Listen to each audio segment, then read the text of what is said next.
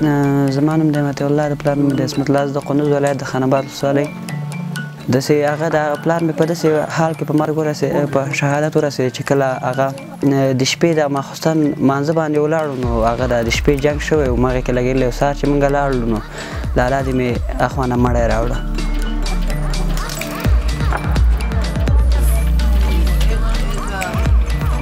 زما د ورور نوم د حکمت الله او هلته هغه د زده کړې خپلې هغه د قرآن کریم زده کړه کوي هلته او هغه د کیدای شي داسې طالبان ترې نه بد استفاده هم وکړي د یعنې وې هڅې چې هغه د خپل هیواد ته هغه د خپل هیواد سره خیانت وکړي او هغه د خپل مسلمانانو نه شهیدان کړي په کول کې موږ سره چې فل حال دی وس یو د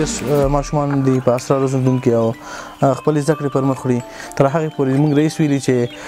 دوی ته واده ونو کنه پریدو پانتون خو ور باندې ان شاء الله تر وایو